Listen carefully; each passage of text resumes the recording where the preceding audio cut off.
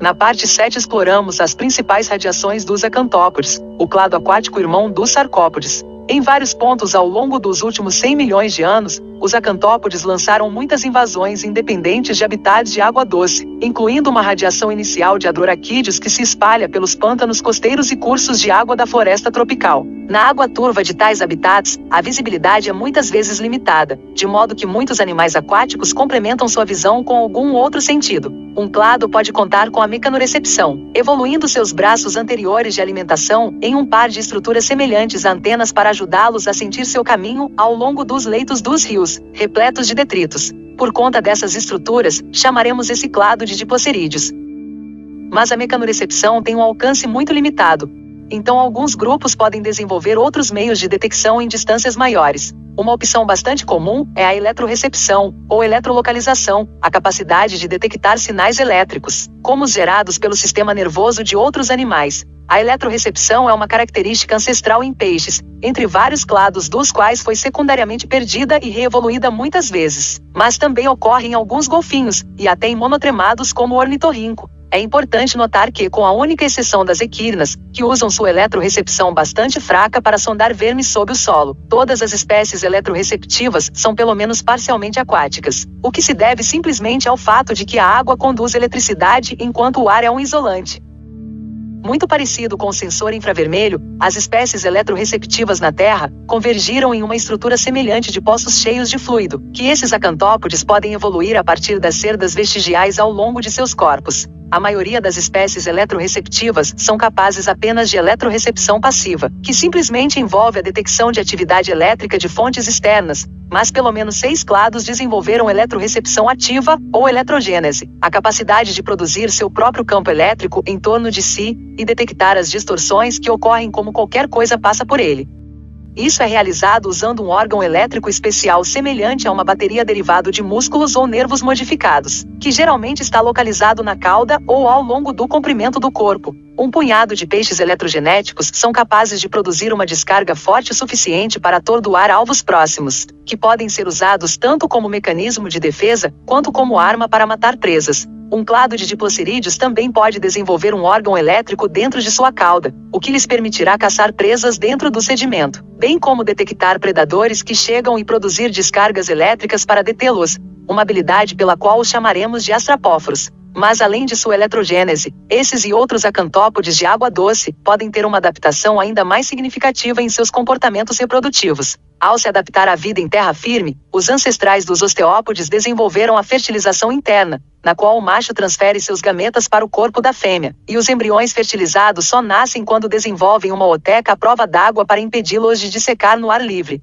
No entanto, como não há esse risco de dissecação na água, os acantópodes aquáticos conseguiram reter a fertilização externa, em que machos e fêmeas simplesmente liberam seus gametas na água e os filhotes se desenvolvem inteiramente fora da mãe. Sem o ônus de carregar os filhotes, a reprodução será significativamente menos onerosa para a fêmea e permitirá que ela casale com mais frequência e, como tal, a poliandria se torna uma opção mais viável. Em uma nota relacionada, qualquer sexo que experimente um fardo maior durante a reprodução será aquele com maior incentivo para fornecer cuidados parentais. Na fertilização interna, o ônus de carregar os filhotes praticamente garante que a fêmea desempenhe a maioria ou todas as funções de cuidado parental, enquanto que em espécies com fertilização externa, há uma discrepância muito menor no custo reprodutivo entre os sexos, portanto, o cuidado parental é muito mais provável que envolva o homem, não é surpreendente, então, que a grande maioria dos casos de cuidados parentais exclusivamente masculinos ocorra em peixes, anfíbios e outros grupos com fertilização externa.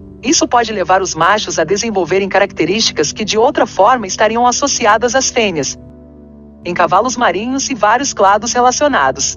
Os machos têm uma bolsa abdominal para incubar os ovos fertilizados, um comportamento às vezes chamado de gravidez masculina, e em aranhas do mar, o macho carrega os pacotes de ovos dentro de um par de apêndices especializados chamados ovigers. Da mesma forma, qualquer espécie de acantópode que evolua a poliandria também pode ver a evolução dos comportamentos de cuidado parental entre os machos. Os machos defenderão territórios em riachos rasos e piscinas isoladas, que ocasionalmente serão visitadas por fêmeas errantes. A fêmea abandonará o macho, e os ovos fertilizados imediatamente após a desova em busca de mais parceiros. E o macho cuidará dos ovos e os protegerá até que eclodam e se dispersem. O aumento das taxas de sobrevivência juvenil proporcionado por esses comportamentos os ajudará a persistir diante dos muitos predadores com os quais compartilham a água, incluindo não apenas outros acantópodes, mas vários clados semiaquáticos. Embora a essa altura a maioria das variedades mais antigas de Deinognatas tenham sido superadas pelos onicodontes mais rápidos e especializados, os clados semiaquáticos como os dolicognatos sobreviverão em zonas úmidas em todo o planeta, e aqueles que acabarem nos pantanos de septentria desfrutarão de menores níveis de concorrência do que o continente. Como os astrapóforos, esses dolicognatos podem adaptar seus sentidos para a água turva, mas podem fazê-lo de uma maneira completamente diferente. A ecolocalização, ou biosonar, envolve a emissão de ondas sonoras e a detecção dos ecos que refletem qualquer objeto próximo. Assim como a eletrorecepção, a ecolocalização pode fornecer uma vantagem em ambientes onde a visão é limitada, mas, ao contrário da luz, as ondas sonoras só podem viajar até certo ponto antes de desaparecerem e se tornarem indetectáveis. O que significa que a ecolocalização é inerentemente de curto alcance, de modo que as espécies ecolocalizadoras ainda dependem da visão como seu sentido primário, e nenhuma espécie conhecida perdeu completamente sua visão em favor da ecolocalização. Como mencionado no último episódio, uma maneira fácil de um animal com respiração ativa produzir som é usar o movimento do ar através do sistema respiratório. Golfinhos e outros cetáceos ecolocalizadores usam o ar que flui através de suas passagens nasais para criar uma série de cliques rápidos, cujo som passa pelo melão, um órgão que age como uma lente sônica para focar os cliques em um feixe de som unidirecional, que em muitas espécies é auxiliado por uma forma complexa do crânio. Acredita-se que uma função semelhante seja desempenhada pela folha do nariz na ecolocalização dos morcegos. Nesses dolicognatos, uma parte de suas vias respiratórias passará por uma câmara ressonante dentro do cefalotórax, que amplificará o som e o direcionará para frente para que o animal possa sentir o que está diretamente à sua frente. Esses dolicognatos, que chamaremos de bognatos, não serão tão grandes ou temíveis quanto seus enormes parentes marinhos ou seus ancestrais terrestres, mas ainda assim prosperarão em seu isolamento em septentria, patrulhando os cursos d'água em busca de acantópode, enquanto ainda ocasionalmente arrastando-se para a terra, para se alimentar de qualquer pequena presa que possam encontrar. As mudanças ecológicas que ocorrem durante os eventos de intercâmbio são numerosas e complexas, mas estes serão alguns dos principais desenvolvimentos que ocorrerão nos 30 milhões de anos, ou mais após a formação da ponte terrestre e a mudança ecológica que se segue. No entanto, todas as dificuldades cumulativas que eles suportaram até agora serão insignificantes em comparação com o que está prestes a acontecer.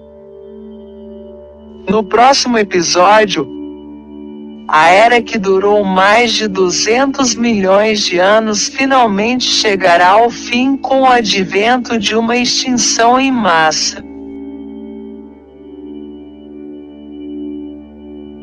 Obrigado a todos os artistas do Discord que contribuíram com a arte para este episódio, e que me pouparam uma enorme quantidade de tempo e esforço ao fazer esses vídeos, ao mesmo tempo, fazê-los parecer muito melhores no processo para o servidor principal, e o servidor de fãs de biosferas alienígenas na descrição, e mais uma vez, um enorme agradecimento a todos os usuários, cujo apoio contínuo torna possíveis vídeos como este. Obrigado por assistir, e vejo você no próximo episódio.